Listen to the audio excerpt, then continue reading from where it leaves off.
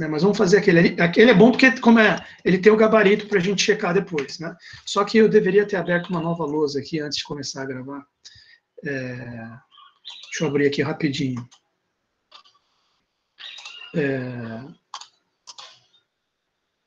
aqui. O exercício que eu estou afim de fazer com vocês é o exercício. Vamos pegar esse que eu mesmo fui sugerir. O exercício. Vamos pegar o 24 porque parece que a formulinha é um pouco mais simples e depois o 23 você faz de acordo com esse. Ah, tudo bem, vamos fazer o 23 e o 24, para não dizer que eu estou fugindo. Ah, o professor fugiu do próprio exercício que ele falou. Vamos fazer os dois, pronto, exercício 23. O exercício 23, primeira coisa que eu recomendo vocês fazerem, um gráfico. Como que é o gráfico dessa f de x? Então vamos lá. Estou vendo que de 0 até π, ela é x. Então o gráfico dela ficaria assim.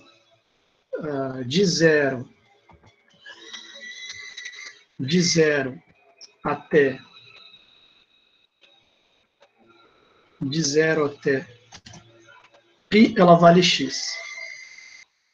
De zero até. Ah, deixa eu ver se. Ah, não, ele botou bola aberta, né? Tudo bem, deixa eu refazer aqui. Bola aberta. Bola aberta. Aí vem aqui até. E como a f de x é igual a x, é claro que Aqui também é π. Aqui também é π.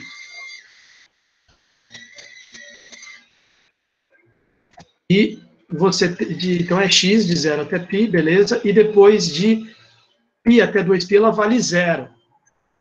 Então, você vê que ele nem botou menor ou igual em nenhum dos dois, então você fica sem saber quanto ela vale aqui.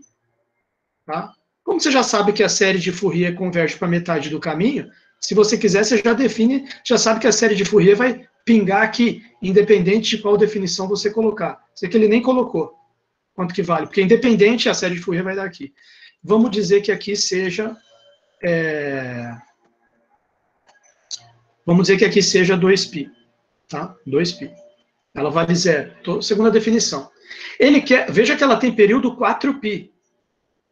Se ela tem período 4π, eu tenho que imaginar ela 2π para cá, 2π para cá também. Digamos aqui, menos π, menos 4π. Aqui eu vou fazer em outra cor, para dizer que é extensão. Tá? Aí você vai falar, professor, para calcular a série de Fourier, você pode estendê-la para cá, para dar período 4π? Para dar período 4π, você pode estendê-la para cá do jeito que você quiser, como ele falou lá, né? Naquele K de X, sim, aquele K de X é uma maravilha. Você pode estender ela para cá aqui assim. não, eu não vou fazer isso, tá certo? O que, que eu vou fazer? Eu penso em fazer uma extensão par, que seria refletir ela que nem o espelho, ou fazer uma extensão ímpar, certo? Pode fazer também uma extensão ímpar. Uh, bom, que seria sei lá, essa parte aqui, acho que teria que deitar aqui no zero, e essa parte teria que fazer aqui assim, né? Mas o, o que vai determinar se eu vou fazer uma extensão para ou extensão ímpar é o que ele disse aqui. Ele falou que quer uma série em cossenos. Então, ele quer que quando eu calcule a série de Fourier dessa função, dê uma série só em cossenos. Então, é óbvio que eu vou fazer uma extensão par, tá certo? E como que é essa extensão par? Lembra da função par? Ela é refletida em relação ao eixo y aqui. Então, ela vai ficar aqui assim, ó. Imagina que aqui tem uma bola aberta, certo? Então, ela vai ficar aqui assim. E depois ela vai ficar no zero aqui assim. Essa é uma extensão par. Extensão, um x, extensão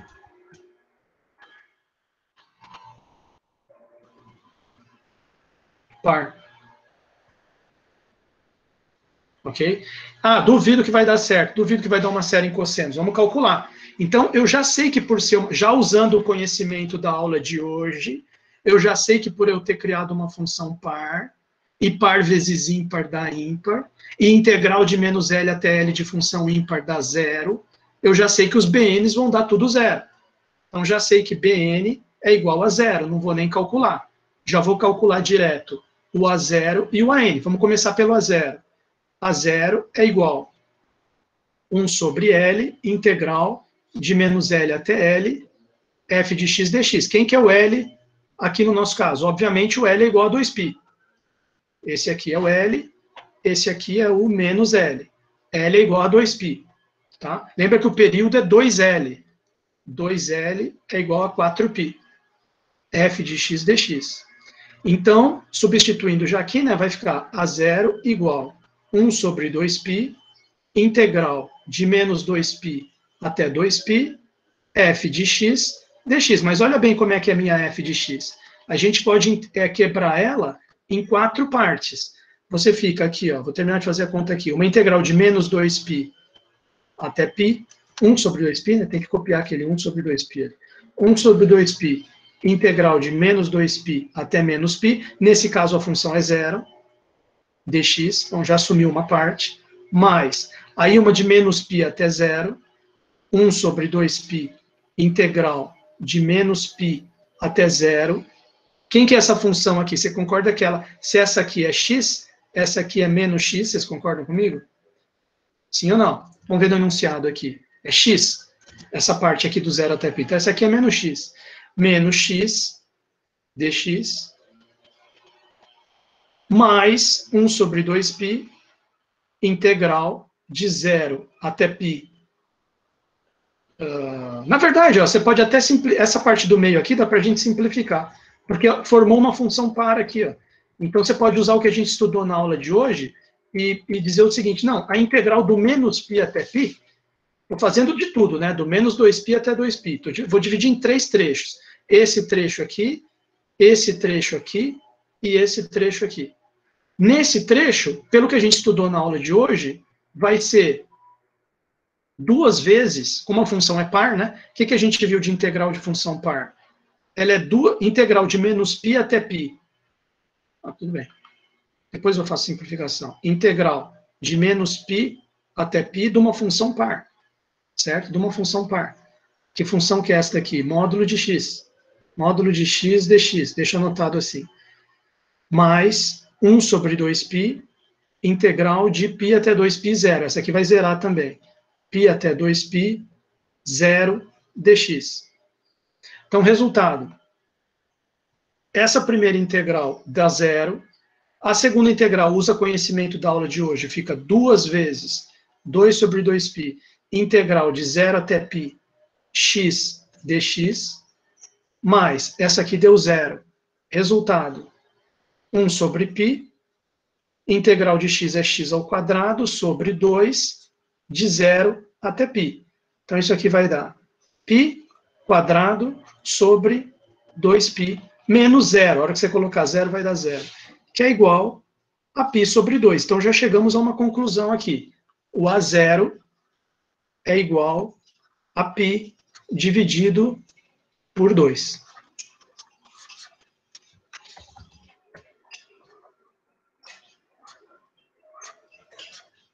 A zero igual a π sobre 2. Também já sabemos que o BN é zero. BN a gente já sabe que é zero. Só resta calcular quem agora? Os ANs. Então, veja, na hora que eu for calcular aqui o AN com vocês, eu já Vou entregar o ouro aqui. Nós vamos pegar a, a integral do AN e vamos também quebrar em três partes, ok? Então, você quebrando ela em três partes, o que, que acontece? Essa parte aqui já vai dar zero, essa parte aqui já vai dar zero, essa parte aqui, como você viu, note que é uma função par, vezes cosseno, que vai estar na fórmula do AN, par vezes par, a gente viu que é par, integral de função par, como eu já comentei na aula de hoje com vocês, de menos L até L, ela vira duas vezes a integral de zero até L. Tá? Então, vamos lá. Para simplificar um pouco aqui, que a ideia dessa sessão é justamente simplificar. Né? Então, olha só. Vai ficar AN igual, a fórmula genérica do AN é 1 sobre L, integral de menos L até L, f de x, cosseno, de npx sobre L. npx sobre L, dx. Isso aqui é igual, isso aqui é igual L, no nosso caso, 2π. Então vai ficar 1 sobre 2π, já vou direto ali na parte do meio, porque essa parte aqui da integral já sei que vai dar zero, essa parte eu já sei que vai dar zero, então eu vou aqui no meio. Menos π até π, integral de menos π até π, f de x, que ali naquele trecho do meio é como se fosse a função módulo, cosseno de npx sobre L. Mas nem vou fazer a conta npx sobre 2π, né? Porque L é 2π. dx. Como a função par vezes par é par, pela aula de hoje a gente aprendeu que isso é duas vezes, então vai ficar 2 sobre 2π, integral de 0 até π, x, nesse trecho de 0 até π a função é x, vezes o cosseno, π corta com π, nx sobre 2. nx sobre 2 dx. Agora tem que fazer essa integral. Esse 2 corta com esse 2, 1 sobre π, 1 sobre π, integral de 0 até π, x cosseno de nx sobre 2. Integral por partes, né? Vamos fazer por partes aqui. Como é que ficaria? Uh, 1 sobre π, abre colchetes, uh, x seno, x seno de nx sobre 2, nx, nx sobre 2, dividido por n, sobre, por n sobre 2, uh, ah, de 0 até π. 0 até π. Menos, aí vai ficar integral de 0 até π, seno de nx sobre 2 dividido por n sobre 2. dx fecha colchete. Essa é a integral por partes. Tá? Bom, então vamos ver o que, que vai acontecer. Igual a 1 sobre π, abre colchetes, coloca o π, coloca o π. Então vai ficar... Uh, inverte, passa, passa multiplicando, que acho que é melhor, né? Vai ficar 2π vezes seno de nπ sobre 2. Seno de nπ sobre 2 não é zero, tá? 2π seno de nπ sobre 2 sobre n. Então vai ficar, uh, ou vamos escrever assim, 2π sobre n seno de nπ sobre 2. Menos, aí você vai colocar o zero, dá zero. Nem vou escrever o segundo termo. Né? É, então, vamos ver isso aqui. Ah, Ok. Menos, menos. Isso aqui pode gerar uma confusão, mas eu comento no final. Menos integral do seno é menos cosseno, então aqui fica mais. E aqui vai ficar outro n sobre 2 embaixo. Invertendo, vai ficar 4 sobre n ao quadrado. 4 sobre n ao quadrado. Vezes cosseno de nx sobre 2, uh, ah, de 0 até π de 0 até π. Então, pera que eu já estou terminando a conta aqui Uh, isso aqui é igual 1 sobre π, abre colchetes, 2π sobre n, seno de nπ sobre 2, mais 4 sobre n ao quadrado. Agora, veja bem, se eu coloco π aqui, cosseno de nπ sobre 2. Se eu coloco zero, dá cosseno de zero, que é 1. Então, eu vou deixar assim, abre parênteses, cosseno de nπ sobre 2 menos 1, que o cosseno de zero é 1. Fecha colchetes. Quer dizer, a n ficou um trambolho, né? A n ficou um trambolho. Não sei se dá para simplificar isso aqui, mas acho que não. Deixa eu só pensar um pouco aqui. n igual a 1, sempre que n for... Ó, sempre que n for par, sempre que n for, uma coisa que a gente percebe aqui é o seguinte, sempre que n for par, olha só que curioso, é, para todo n par, isso aqui vai dar zero e vai sumir, isso aqui vai dar, opa, será que caiu a live? Não, o pessoal está aqui. Sempre que n for par, isso aqui vai dar zero, isso aqui vai dar 1. 1 menos 1 dá zero. Eu estou percebendo que para n par, todo esse colchete aqui é zero. Ah, e para n ímpar? Para n ímpar, aí você tem a complicação de que às vezes é 1, às vezes é menos 1, né? Por exemplo, 3, para n igual a 1, isso aqui é 1. é certo? E esse n ímpar, isso aqui sempre é zero. n ímpar, isso aqui sempre é zero. Já começa por aí. Né? Cosseno de ímpar π sobre 2, tipo 3π sobre 2, π sobre 2, uh, o cosseno é sempre zero. Então vai ficar esse menos 1 aqui. Mas aqui, o que, que acontece com o ímpar? Aqui o ímpar vai ficar alternando entre 1 e menos 1. Então, por exemplo, π sobre 2 dá 1. Menos pi, ah, uh, 3π sobre 2 dá menos 1. Então, quer dizer, a gente poderia ficar quebrando a cabeça e tentar simplificar essa fórmula aqui, né? Então, eu não sei se, se, se vale a pena, né? Se vale a pena fazer isso, né? Mas o, o fato é, isso aqui é o nosso AN. né? Então, como é que vai ficar a série de Fourier daquela função? Vai ficar, F, vou escrever de maneira simplificada, vai ficar o A0 sobre 2, que é π sobre 4, que eu quero checar no gabarito, né? π sobre 4, mais somatório de n igual a 1 até infinito. Esse AN aqui que a gente acabou de calcular, não sei se dá para simplificar ele ou não, vou olhar primeiro no gabarito, cosseno de n πx sobre L. L é 2π. Então, corta o π, fica nx sobre 2. Certo? Quer dizer, onde a n é dado por zero. Vamos ver como é que ele vai colocar a resposta no gabarito. Vamos ver ali.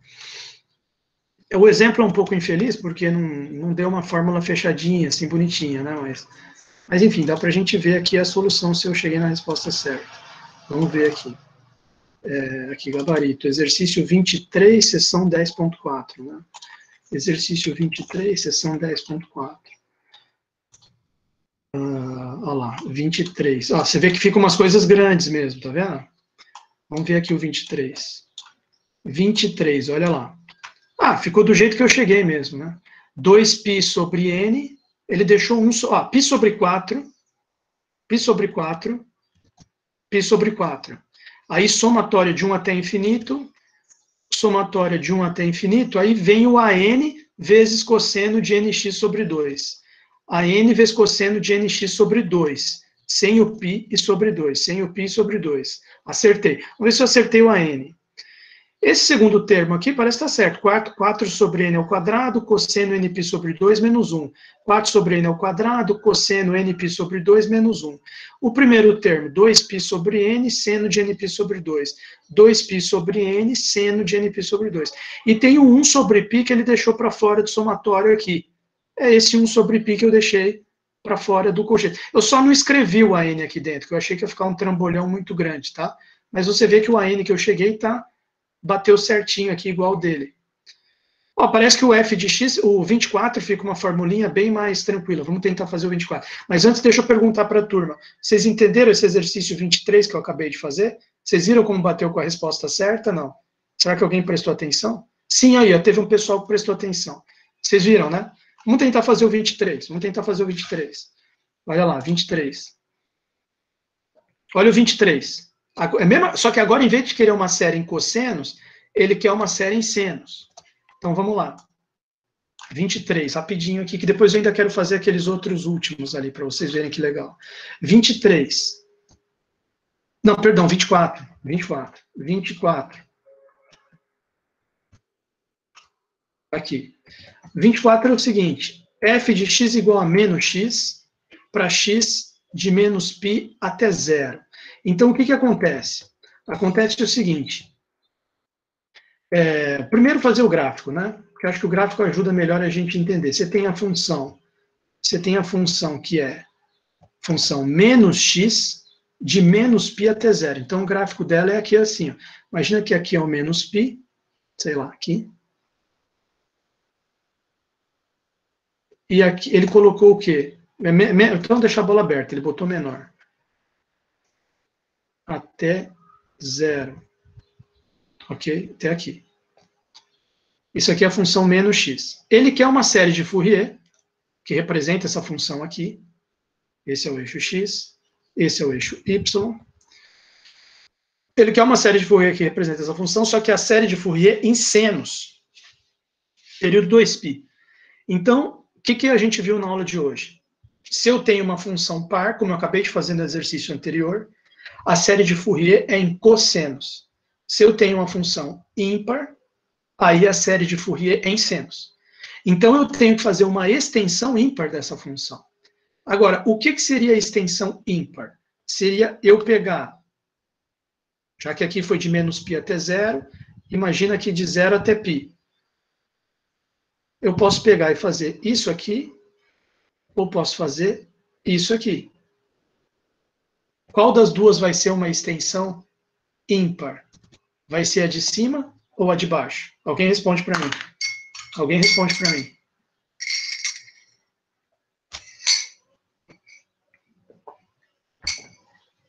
Maravilha, perfeito. Pô, ótimo. Essa turma aqui é fora de série. Essa turma é fora de série. Tá aí. É exatamente isso aqui. Então, extensão ímpar é eu chegar aqui e. Opa! Entendeu? Fazer isso aqui, ó. Tentando fazer um desenho legal, né? Não ficou muito bom, mas. Só para dar uma ideia para o aluno que eu estou pensando. Então, essa aqui é uma extensão com x, extensão ímpar. Extensão ímpar. Então, o que, que acontece com a, com a extensão ímpar? Você criou uma função ímpar. Ímpar vezes par seria o f de x vezes o cosseno ímpar vezes par da ímpar. Integral de ímpar é zero, de menos L até L é zero. Então, eu já sei que os ANs vão ser zero. E o A0 também, porque o A0 é só o f de x e f de x é ímpar, e integral de ímpar é zero. Então, eu já sei que a0 é igual a zero, e os ANs são todos iguais a zero também, para n igual a 1, 2 reticências. Já não preciso nem fazer conta. Vou me preocupar só com Bn. E o Bn, como é que é a mesma fórmula dele? 1 sobre L, integral de menos L até L, f de x, seno de n px dividido por L.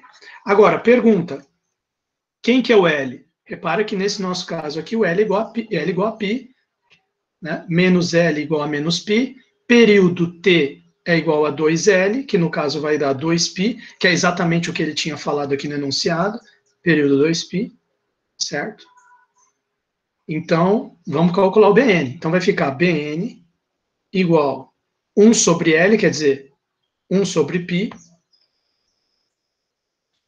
integral de menos L, ou seja, menos π até π, f de x, vezes seno, colocando L igual a π, corta, seno de nx dx. Agora, veja bem, f de x é uma ímpar, né? Essa, eu estou usando f de x, poderia ter chamado de g de x, né? Porque f de x é a do enunciado enfim, vocês entendem o que eu estou querendo dizer. f de x é esse gráfico aqui todo. Tá? Ímpar vezes ímpar dá par Integral de função par de menos... Quer dizer, eu posso usar também a aula de hoje aqui. Porque na aula de hoje a gente viu que integral de menos L até L de par, aqui eu sei que é par porque é ímpar vezes ímpar. Fica igual 1 sobre π, não, 2 sobre π, né? É igual a duas vezes 2 sobre π integral, aí só de zero até π. Zero até π. No lugar da f de x eu posso colocar menos x, porque de zero até π aqui, ó, de zero até π, ela, esse gráfico aqui é menos x também. Menos x. Seno de nx. Seno de nx dx. 2 sobre π Uh, vou colocar o menos aqui para fora, né? Igual, porque vai ter que fazer por partes. Então fica menos 2 sobre π, integral de 0 até π, x vezes seno de nx. Assim fica mais fácil de fazer a integral por partes. Vamos fazer aqui embaixo integral por partes. Uh, isso aqui fica igual. Deixa aqui em evidência para fora o menos 2 sobre π, menos 2 dividido por π, abre colchetes, x integral do seno é menos cosseno, certo? Então vai ficar menos x cosseno nx dividido por n de zero até π. De zero até π. menos, com esse menos aqui, mais, integral de 0 até π, cosseno de nx dx. Fecha colchete. Essa aí foi a integral por partes. Então, isso aqui vai ficar igual a quanto? Tem esse menos 2 sobre π ali fora, e dentro do colchetes fica, substitui π, depois substitui zero. Como tem um x aqui fora, a hora que colocar o zero, sumiu. Então vai ter só o primeiro termo com π. Vai ser menos π cosseno nπ, que é menos 1 elevado a n, dividido por n. Isso eu já tinha falado em umas aulas anteriores aí. Mais integral do cosseno é seno. Mais seno de nx sobre n de 0 a π. Fecha a colchete. Só que tem um detalhe.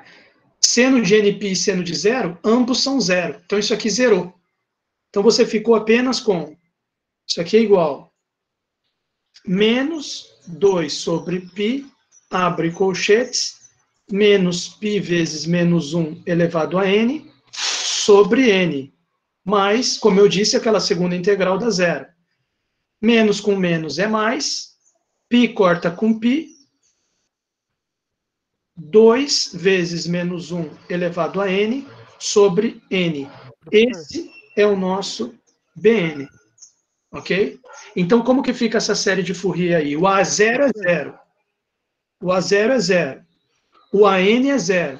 Então, ficou f de x igual somatória de n igual a 1 até infinito, Bn seno. Quem que é o Bn? 2 menos 1 elevado a n sobre n seno de nx. Ah, por que, que não é seno de npx sobre L? É seno de npx sobre L. Só que o, o L é π. Então, aquele npx sobre L fica igual... Oi, oi, desculpa. O Davi estava falando aqui no chat. Olha aqui. Acho que meu micro não está funcionando. Se alguém puder, por favor, Fala no micro. Ah, tá. O microfone está falando. Não de, é, de baixo. Não divide por n dentro da integral, cosseno de nx sobre n. Deixa eu ver lá. É, pá, pá, sobre n. Sim, sim, sim, sim, sim, sim. Você tem razão. Aqui tem um sobre n. Obrigado, Davi. Você tem razão. Sobre. É porque vai zerar isso aqui, então não vai. Mas você tem razão, eu tinha errado. Então, na hora que você fizer a integral, aqui fica n ao quadrado. Agora está certo aí o que eu estou fazendo, na sua opinião? Em Davi? Isso, ficou certo, né? Isso, então aqui é o quadrado.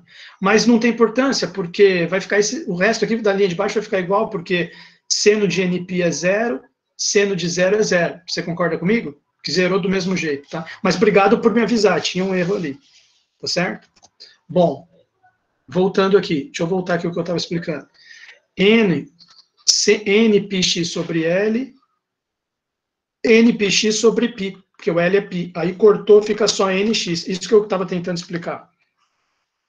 Então vai ficar seno de nx. Fechou. Essa é a resposta do exercício.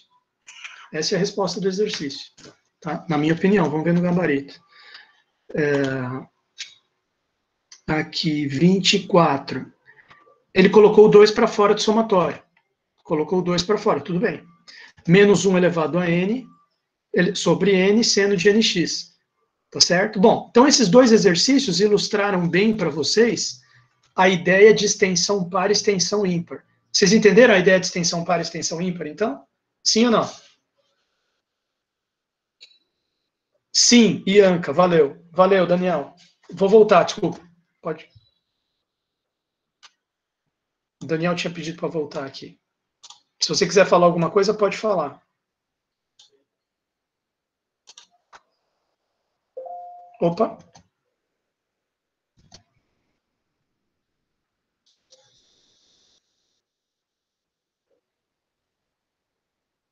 Certo? Então, quer dizer, ficou claro para vocês a ideia de extensão par extensão ímpar.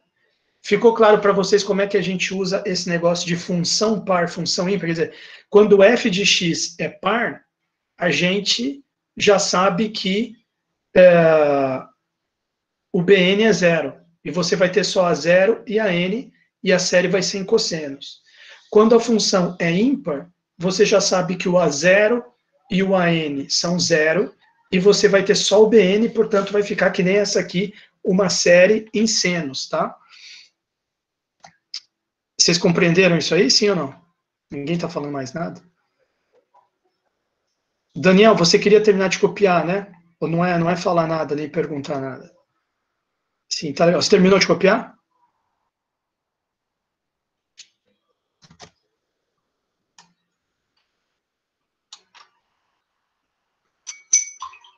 Ok. Eu vou só interromper aqui o vídeo, tá? Já vou voltar ali. Eu vou só interromper aqui a gravação.